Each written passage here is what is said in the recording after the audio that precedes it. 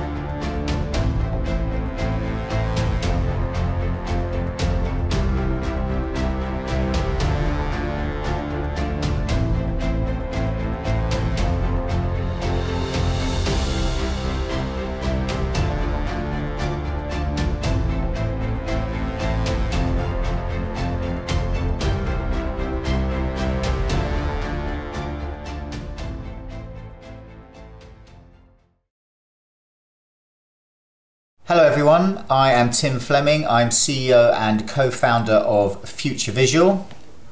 Uh, and delighted to be here today talking to Silicon Brighton on the invitation of Steve Rackley and the team. Uh, Future Visual are based here in Brighton. We have a speciality in bringing people together in immersive spaces, whatever device they're on, so they can use VR, AR, desktop or mobile using our platform, whoop, Vision XR, the future of collaboration and training at work. So, what am I here to talk to you about today? I am going to chat about what is an emerging metaverse and how might it impact you? Has COVID 19 accelerated the adoption of immersive technology spaces? And how can we at Future Visual help you with what are becoming these new normals. Anyway, I hope you have all been keeping safe and been keeping well. So, to tackle the first of those topics, um, what is the metaverse? Um, in fact, maybe to go back uh, a little bit earlier than that, um, I'm sure you know many of you are familiar with uh, immersive spaces, with immersive technology, uh, immersive technology such as this. This is an HTC Vive, and um, that's the headset and the controllers look a little bit like this. So this is a head mounted display. Ooh, head mounted display that you wear and then you hold controllers as well. And um, obviously by putting on a headset you believe or your body kind of very quickly goes, oh, I'm in another world, I'm in another space and you have the sort of biochemical response that makes you believe that you're in another space. That's your kind of 101 for anyone who is not familiar with VR. What we do at Future Visual is we enable people using VR uh, or mobile uh, or desktop to all come together into the same immersive space. And it is this being together in one immersive space where we're starting to see the emerging metaverse. Now, pre COVID, metaverse certainly was in the realm of science fiction. I mean, metaverse, that's where it came from. It was originally talked about in cyberpunk novels in the 90s, which seems strangely uh, prophetic. Um, uh, a book called Snow Crash um, by Neal Stephenson and other books by William Gibson, Neuromancer. I mean, pretty standard kind of science fiction fare. And, you know, it was quite a bold statement to say, "Oh, the metaverse is coming," even though we're on a great wave of VR discovery and impl- implementation, particularly in the enterprise space currently. What COVID has done is it has kind of accelerated this need for people to be together somehow, and VR and immersive technology has been here, you know, just kind of at the right time um, for people to experiment with and go, oh, actually, uh, this kind of works. I do feel like I'm in the same space. So it's this ability to be and feel that you're interacting in the same space even though you're in other locations. So, an emerging metaverse, what does it really mean beyond that kind of basic description I've, I've given? Well, obviously, it comes from the word universe, uh, and I was looking these details up and what's the origin of you know the word universe So the definition of well, universe to begin with is taken from the word verse, which actually bizarrely means uh, the turning of the plough or creating of a furrow. So verse, V-R-S, means this creating of a single furrow, and obviously uni means one. And meta means beyond or means the most effective tactics available. So meta means after, along, or beyond. So the metaverse means obviously beyond what we can do in the universe. Um, so, you know, to say that we were seeing the emergence of the metaverse pre COVID was a bit of a grand statement. Um, but really, you know, the metaverse is uh, beyond nature. So it is us using electronic digital devices to kind of enhance our ability. So actually me using my phone is a version of me engaging in the metaverse. The phone allows me to have uh, kind of superior abilities that I wouldn't have if I was just reliant on nature. So this emerging metaverse we're sort of seeing all around us. Obviously most clearly defined by the emergence of the internet and the you know massive growth that that is experiencing year on year. Again, COVID has pushed us all to rely on the internet. So normally we'd be having these talks in person. Uh, obviously, remote shopping, both for food and just for general goods via Amazon, has all rocketed up. Um, the ability to buy goods and services in a kind of digital realm is the emerging metaverse. And we're seeing that more and more. And I think other areas that reflect the emerging metaverse is uh, non-ownership of goods. So non-ownership of music, Spotify, you know, you're streaming music, Uber, you're you know essentially hiring the car for and the driver uh, for time. These are all reflections of the emerging metaverse. And what's particularly happened in the last couple of months where people haven't been able to go to concerts or they haven't been able to go to cultural events is you've started to see those music events taking place in digital properties. So recently in the game Fortnite, there was a big concert by a guy called Travis Scott in the States. Now, he had a big tour planned at the time, but he was unable to um, make the tour. The tour was, was not able to happen. So they just did it in Fortnite, and you know, huge numbers of people um, turned up, and that has kind of kick-started the doors opening to the emerging metaverse. And you know, we're seeing it really in online training. We're seeing it in remote collaboration. We're seeing it in cultural events, and if it's happening at the kind of forefront of consumer and customer experience, then it will also be happening for your employee experience. So, this emerging metaverse, while it seemed like the kind of uh, whim of science fiction or something that was going to happen in the future, it's most definitely happening now and it will infect your customer and employee experience. So you want to get versed with what does the emerging metaverse mean and how can it benefit your company? How can it benefit your employees? Because whilst we all love a good face-to-face interaction, as time becomes a stronger commodity that we have uh, less uh, available, whilst the barrier of distance um, can prohibit us from having experiences. The sort of the metaverse can help us solve some of those problems. Um, we don't need to travel to physical locations to undertake training or to have a kind of um, high level showroom or dealership experience. Obviously, a lot of that has been having it have happening online, but very much we're still on the big purchases. We're still programmed, or our conditioning is do some research online, and then go and look at a physical object. Um, whereas I think all of that is up for grabs. In terms of your employee experience, the way that's shaking up is previously you might have had a bit of blended learning or classroom learning and then gone to a training hub um, to learn on the job.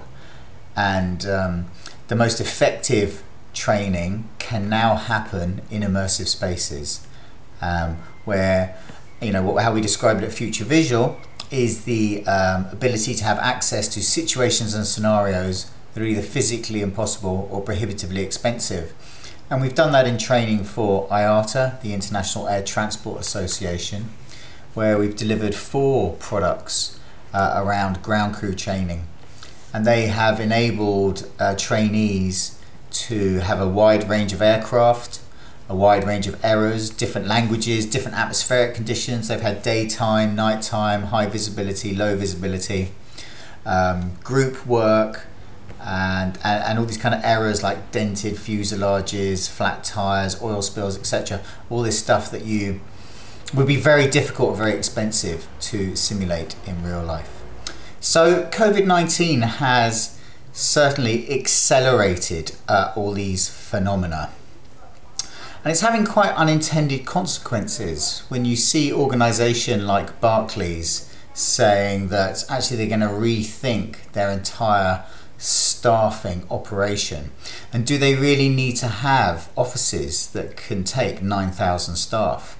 We're hearing from people who are who have been doing the remote working and actually have found that it kind of quite works for their lifestyle. Now, I think over a long duration, for those of us who have been sort of adhering to quite a strict lockdown, you definitely get an element of cabin fever. We're definitely missing out on having a complete team by not being able to meet up physically.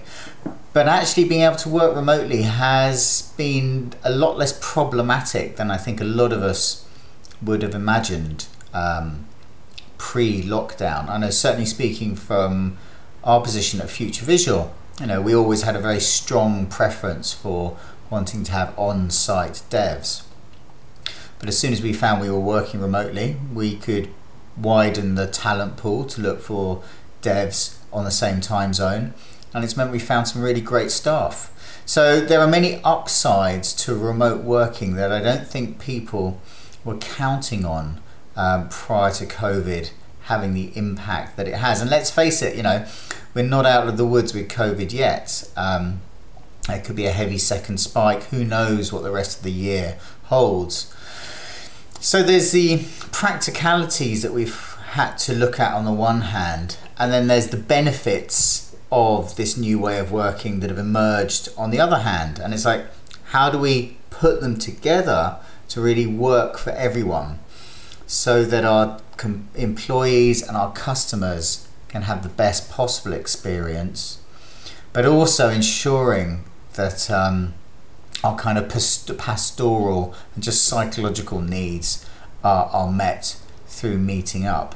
In the context of your staff, you know, we're looking at using the office in a very different way, in a much more creative way.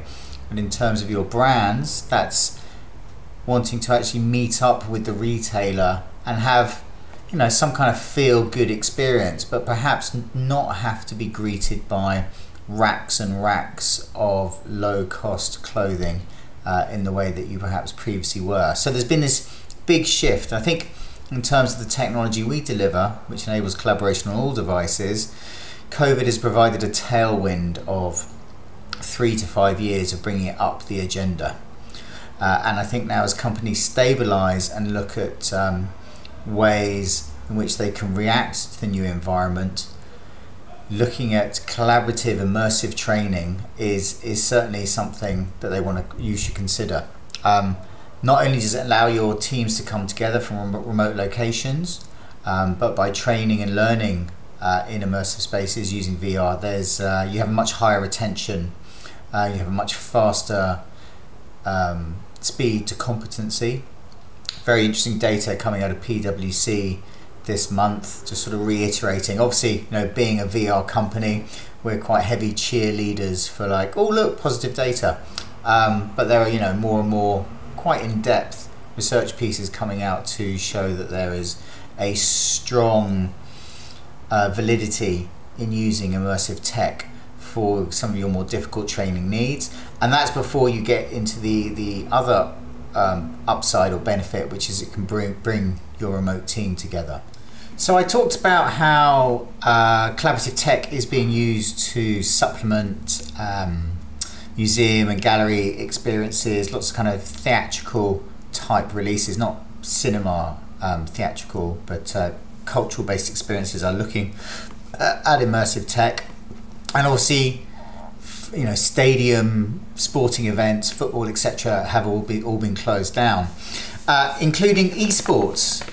Um, esports obviously massive growing phenomena which typically culminates in a large stadium experience where tens of thousands of people um, meet up to watch their their favorite game. Um, so you know this summer the uh, Dota 2 um, finals in Birmingham have been cancelled. But fortunately, Vision XR, Future Visual, have been welcomed onto a consortium put together by Audience of the Future Industrial Strategy by UK government to build an immersive viewing structure for system for esports. Now, obviously, when you're dealing with esports, you're getting a lot of digital data from the game. You've got a map of the game. You've got all the data feeds on uh, player performance. Um, in the consortium, we have University of York, who are specialists at uh, trend analysis, uh, player performance analysis. And what we're doing is um, we are enabling everyone to come together on any device, VR, AR, desktop, or mobile. mobile. We're then getting data in on past player performance um, from University of York that is then mapped against the current performance and the viewer is uh, alerted to trends going on in the game. So this again is another example of the kind of emerging metaverse. You know, previously games, you went into a stadium, you watched them, you shouted for your team. Um, we've obviously seen the rise of sporting apps, um, kind of quite strong prolifer- proliferation of those, particularly around football, soccer. Um, but by bringing it into a cross-device immersive uh, arena, we get back to the same core proposition, which is you no longer need to actually be at the event to have uh, as good an experience as you would in real life, or in some ways, a, even an, an augmented, a better experience than you would have actually at the game. Now, obviously, when you're at a cultural event, when you're at a sporting event, you know that that buzz of being with the crowd, being together, is is difficult to replicate.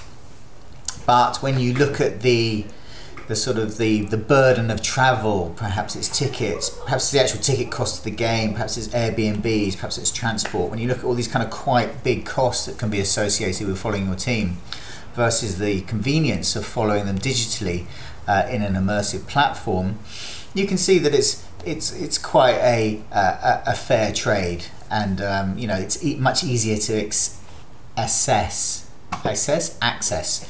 Um, using digital devices. Uh, this just this weekend just gone actually there was um, a music concert in Sansar uh, called Lost Horizon, and it was to kind of replicate um, the uh, Shangri-La part of Glastonbury.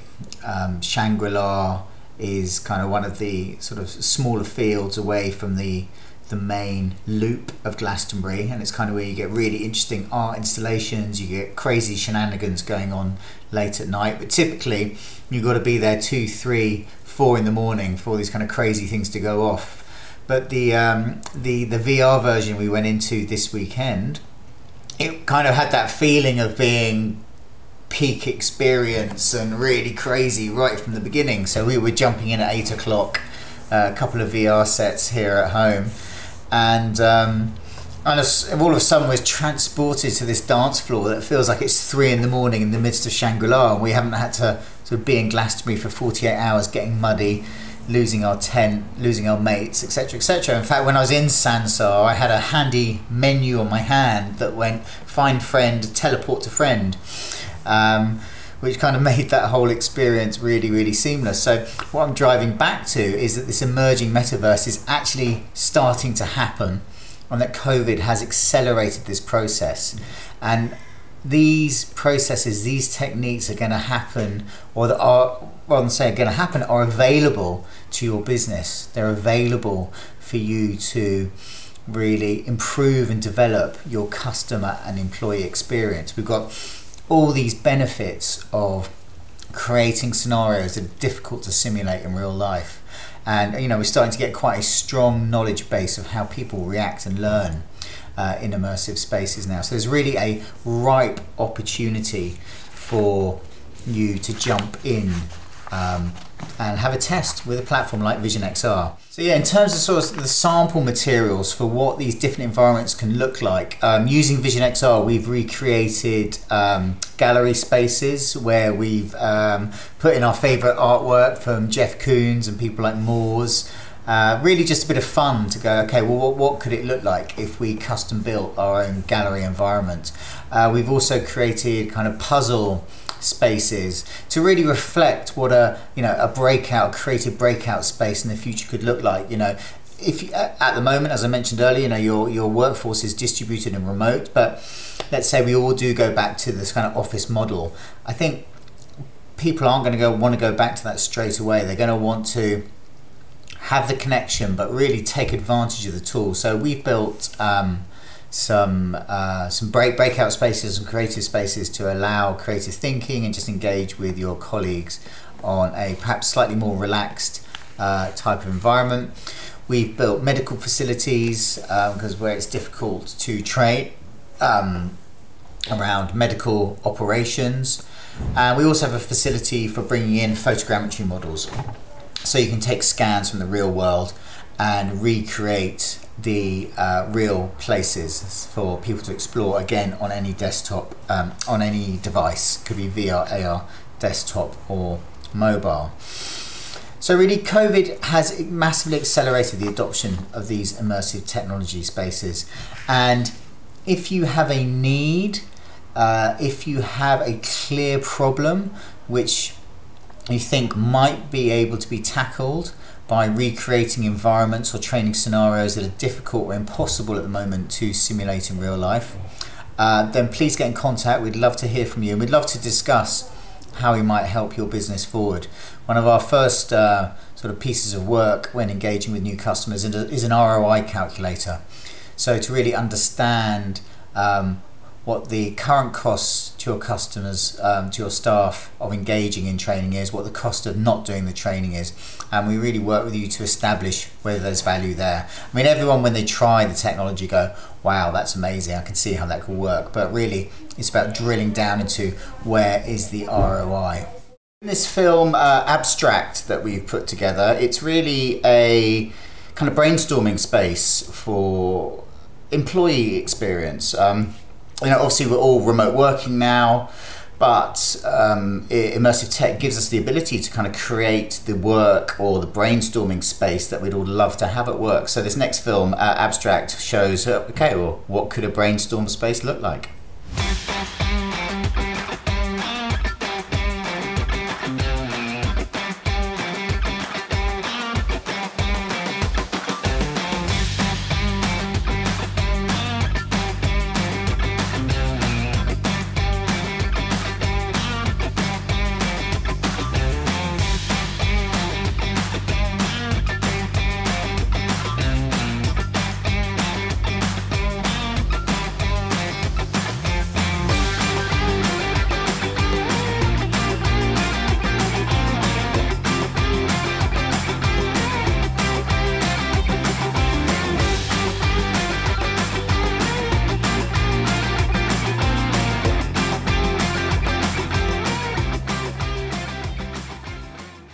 And in this next film, uh, we've uh, remodeled a conference room, but um, having done a bunch of work in aviation, we've obviously dropped some aircraft onto the table. So this is a conference room environment, but with the ability to plan um, really with any kind of object. We've just used aircraft uh, in this case because it, it, shows a nice mixing of the different spaces, you know, uh, having multiple aircraft just on a table in your conference room uh, pretty fun for planning.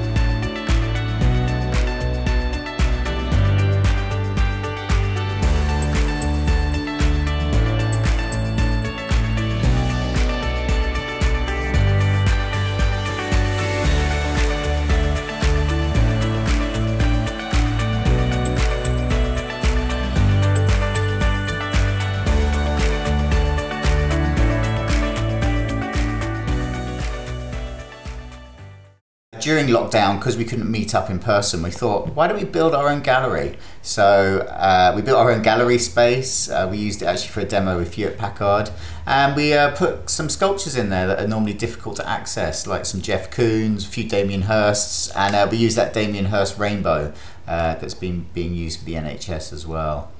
Um, yeah, really, really fun just to build a kind of cultural space with no limits, like no roof um, really play around with the architecture. So uh, yeah, highly recommend. Uh, each company should get their own gallery space to play around in and brainstorm.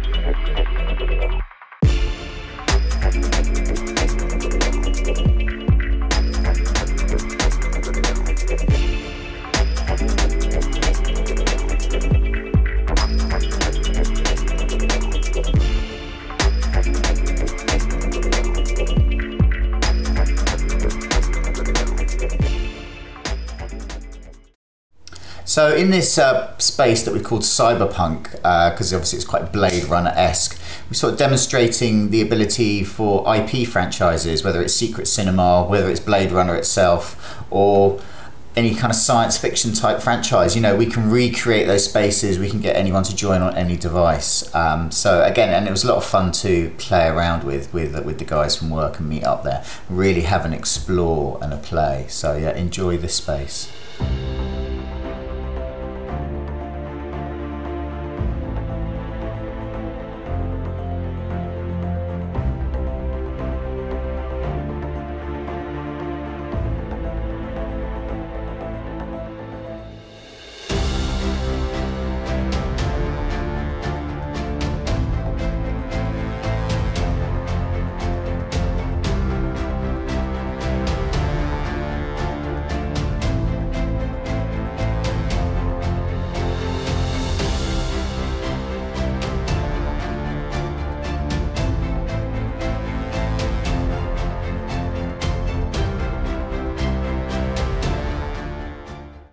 And you know, in the spirit of difficult to access scenarios, which are either expensive or just not readily available, we recreated a operating theatre, complete with our own uh, mannequin who's had a slightly dodgy knee injury.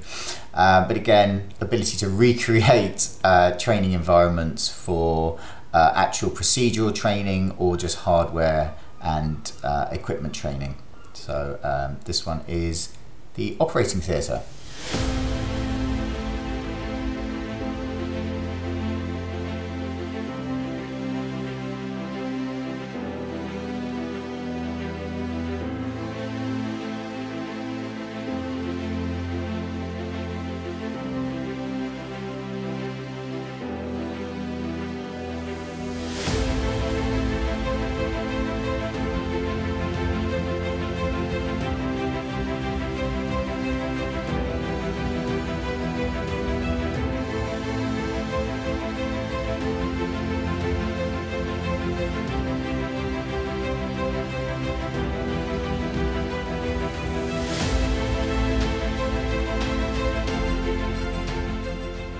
So yeah, Future Visual, we are part of the Hewlett Packard Independent Software Vendor Program, so we can help you um, with hardware choices, um, We can help you with enterprise wide rollout. And really, we just love to hear more about your business and see if the emerging metaverse can um, solve problems and create opportunities for you. We're a little bit at that moment of, um, you know, kind of when there was all the rush around dot com, uh, you know, pre MySpace. You know, we're just getting that kind of momentum going with these metaverse applications. But this is the way many companies are going to engage both internally and externally. We'd love to help you and be part of that journey. Many thanks and have a great day.